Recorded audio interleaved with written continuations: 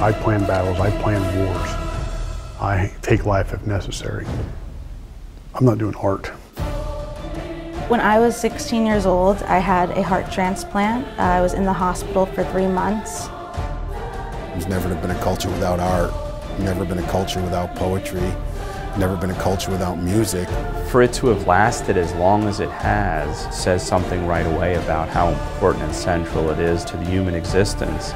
They must be delivering something to us that we really need for our psyches.